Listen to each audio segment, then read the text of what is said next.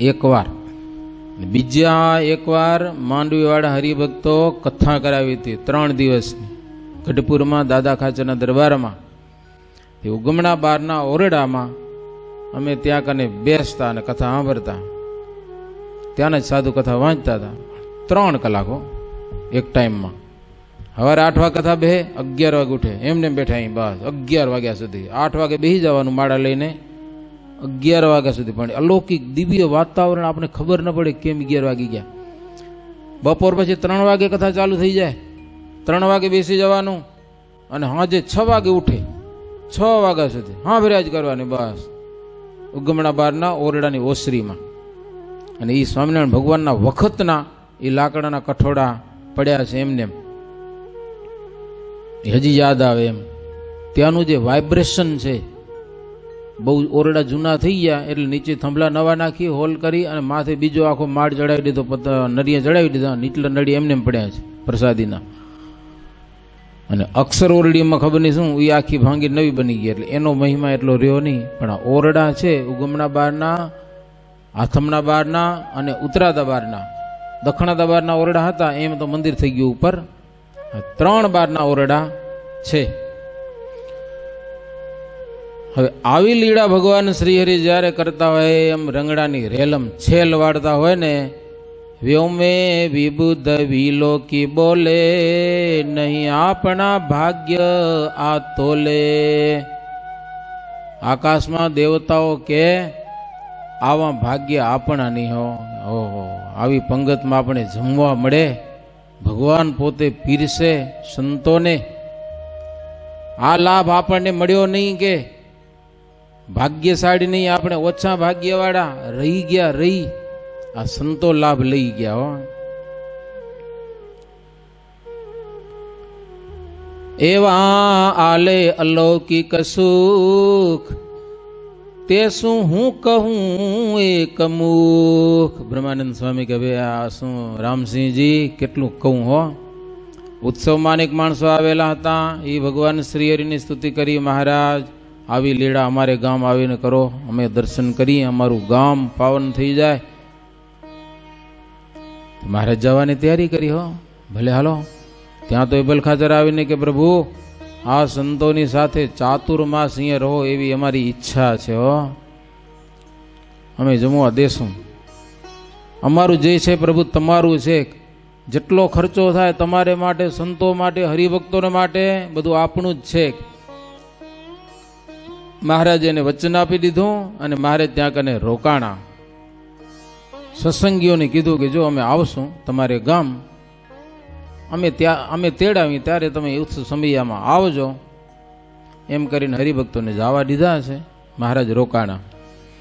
એકસઠની ચાલતી સાલ, સહુ સંત સાથે વૃષલાલ પોતે રહ્યા ગઢપુર માયા, પછી શું કર્યું રહીને ત્યાં ચૈત્ર સુધી નવમીને દન્ના, રાજાએ ભલે વિચારી મન્ના.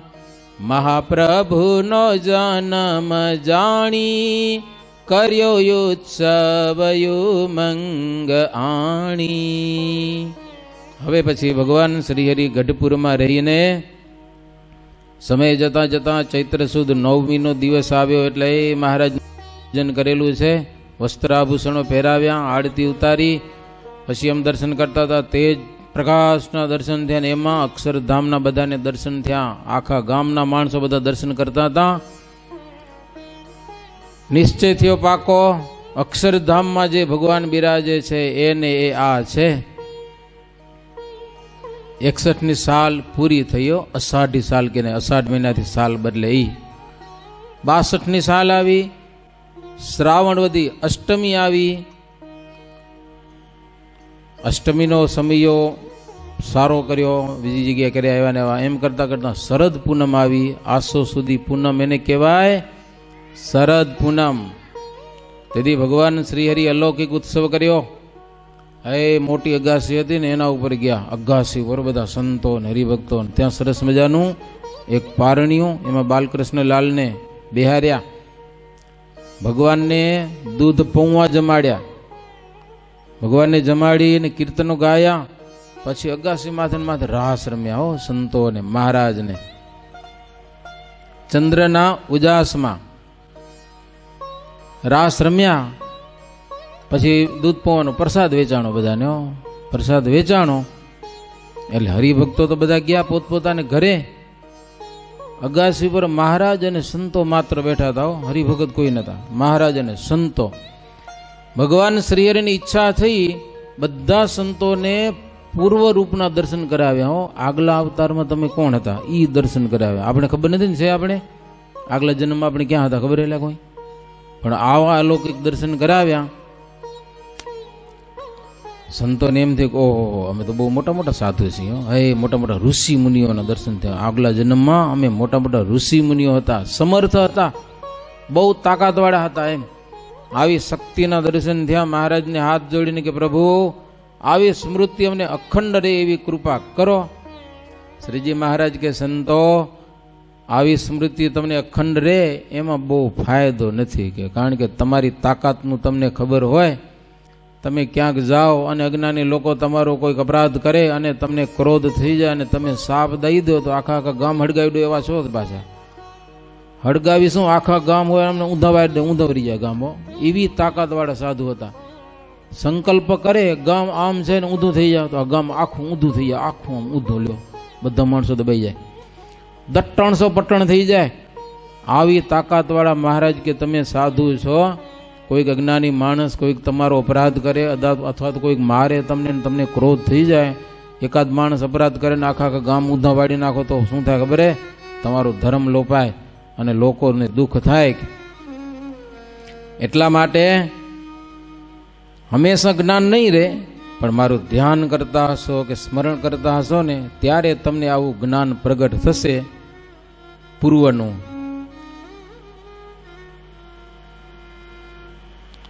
એમાં શ્રીજી મહારાજે એક ઇતિહાસ કીધો છે કે એકવાર દુર્વાસા મુનિ પુષ્પભદ્રા નદીમાં ગયા, ત્યાં સ્વર્ગની અપ્સરાઓ સ્નાન કરતી હતી. એની પાસે સરસ મજાના કમળની માળા હતી, સુગંધીમાન. દુર્વાસાને બહુ ગમી ગઈ. એક અપ્સરા પાસે માગી, તો અપ્સરાએ કે દુર્વાસાને પહેરાવી દીધી. દુર્વાસા ખુશ થઈ ગયા. કમળનો હાર જડી ગયો આખો, સ્વર્ગનો. એવી સરસ મજાની સુગંધ. દુર્વાસા નદીમાં હાલ્યા આવે તો ભમરા ચારે બાજુ આંટા માર્યો. એવી કમળની માળા.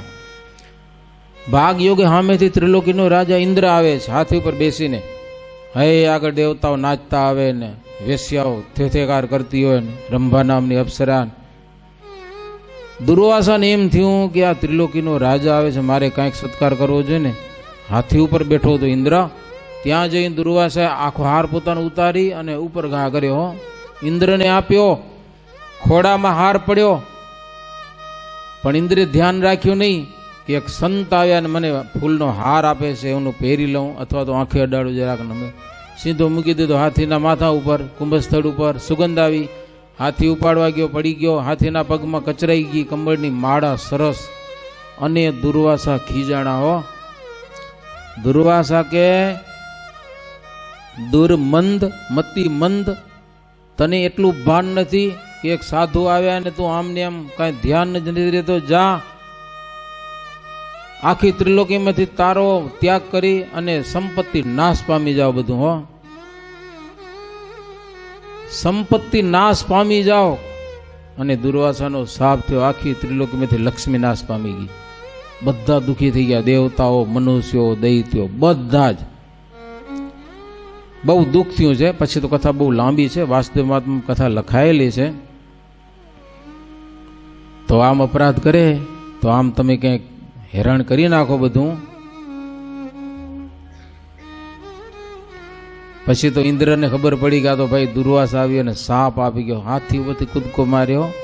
દુર્વાસાના ચરણમાં પડ્યો. ગુરુ મહારાજ, માફ કરો માફ કરો. દુર્વાસા કે માફ કરે બીજો લત નાખી ઇન્દ્રને. જાના લત નાખી અને દુર્વાસાને હાલે ગયા. અને ત્રિલોકી દુખી, દુઃખી થઈ ગઈ. એક સંતના અપરાધથી. જિંદગીમાં બહુ ધ્યાન રાખજો. હા, સાધુની કોઈ દી મસ્કરી નહીં કરવાની. સંત કોઈ દી આપણા ઉપર નારાજ નહીં થઈ જાય, તો આપણી જિંદગી ફેલ થઈ જાય. હા, દુર્વાસા નારાજ થઈ ગયા, ઇન્દ્ર ઉપર. ઇન્દ્રનું, બિચારાનું ખેદાન મેદાન નીકળી ગયું. એક ઇન્દ્રને કારણે આખી ત્રિલોકી બહુ દુઃખી થઈ ગઈ. માટે મહારાજ કે, સંતો, તમને અખંડ નહીં, ક્યારેક જ્ઞાન થશે કે તમે કોણ છો પૂર્વના?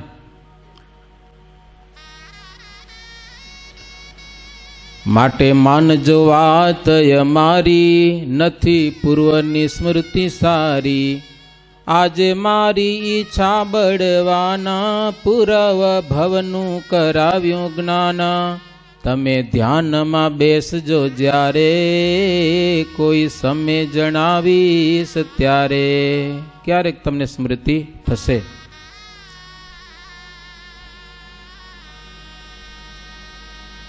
જેમ કેસર અને એલચીની સુગંધ ગમે ત્યારે તો નંબળે, ક્યારેક આવે હો. એમ ભગવાન શ્રીહરિ પાસેથી સંતો સુખ લેતા, ક્યારેક એવું સ્મરણ થતું, આનંદ માનતા. ભગવાન શ્રીહરિ બધા સંતોને પૂર્વભવનું જ્ઞાન પણ ભૂલાવી દીધું. સંતો હાથ જોડ્યા, પ્રભુ, જેમ મા બાળકનું હિત કરે, એમ તમે અમારી માની સમાન છો. રાત દાડો અમારી પ્રભુ તમે સંભાળ રાખો છો. સવારનો સમય થયો. પછી એ બધા ઉન્મદ ગંગામાં સ્નાન કરવા માટે ગયેલા છે. સ્નાન કરી અને પછી બધા આવ્યા, પાઠ પૂજા બધા કર્યા. બ્રહ્માનંદ સ્વામી કે રામસિંહજી આવો આનંદ તો ગઢપુરમાં એ આનંદ ઉત્સવ હો. અન્નકૂટના ઉત્સવ આવે, એકાદશીના ઉત્સવ આવે. ચાતુર્માસ એમ કરતા કરતા પૂરા થઈ ગયા. ચાતુર્માસના દિવસો પૂરા થઈ ગયા. લોકોએ વિનંતી કરી, પ્રભુ, હવે તો પૂરું થયું. હવે હાલો. સંતોને મહારાજે દેશ વિદેશમાં મોકલવાની ઈચ્છા કરી. મહારાજ પોતે પણ ઈચ્છા કરી કે હવે બીજા ગામડામાં જાઉં અને હરિભક્તોને રાજી કરું. બ્રહ્માનંદ સ્વામી કહે, એ કથા હું તમને હવે પછી સંભળાવીશ. મહારાજાએ સંતોને મોકલે છે ગામડાઓમાં મુમુક્ષોનો ઉપદેશ કરવા માટે અને ભગવાન શ્રીહરિ, હવે રાજા થોડાક દિવસ તો મહારાજને રોકે છે ત્યાં કને. પછી પ્રભુ જાય છે. ભગવાન સ્વામિનારાયણ પૃથ્વી ઉપર આવ્યા છે. હા એ ખૂબ સુખ્યા કરેલા છે. અહીંયા કથાને પૂર્ણ. આજે આપણે વિજ્ઞાન સ્વામી આવ્યા છે. તો એના આશીર્વાદ પણ લેશું. એક મિનિટ. અદ્ભુત વાત કરેલ સંત પાસે. સમરણ સહુ પૂર્વનું કરાવ્યું. પુનિત ચરિત્ર મેં સ્નેહથી સુણાવ્યું. એવી રીતે સાડત્રીસમું પુષ્પ થયું.